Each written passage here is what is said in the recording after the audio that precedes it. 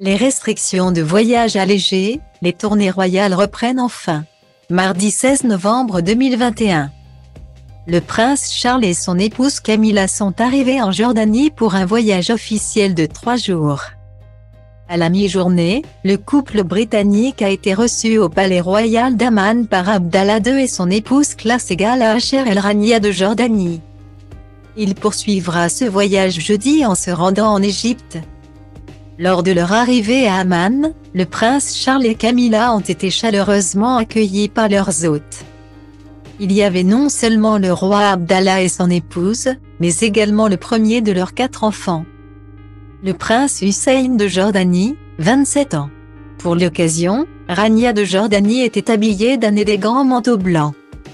Modernisé par des accessoires métallisés, une ceinture dorée, un sac à main Louis Vuitton et une paire d'escarpins signés Dior.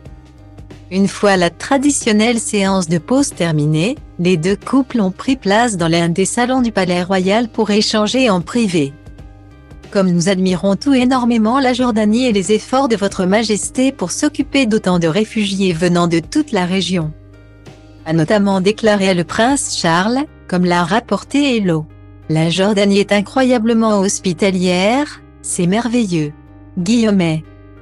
Dans l'après-midi, la reine et la duchesse de Cornouailles sont repartis du palais ensemble pour rejoindre le centre Kéan Rania Family and Children pour une visite. Étonnamment, c'est la reine qui a pris le volant de cette Tesla, voire diaporama. Camilla a ensuite retrouvé le prince Charles pour se rendre à Jewafa al-Kafrin. Pour visiter les sites de Elijah et le lieu de baptême de Jésus. L'héritier au trône d'Angleterre, 72 ans, doit rencontrer des représentants d'organisations humanitaires. Notamment le Haut Commissariat de l'ONU pour les réfugiés, HCR, le royaume hachémite accueillant des centaines de milliers de Syriens ayant fui les violences de la guerre dans leur pays, frontalier de la Jordanie.